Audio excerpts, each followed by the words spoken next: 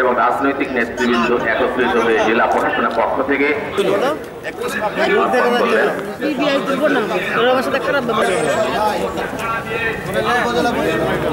উপজেলা পরিষদ। এই দিনে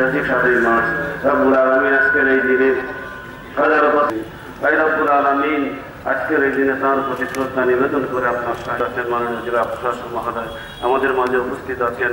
বিশেষ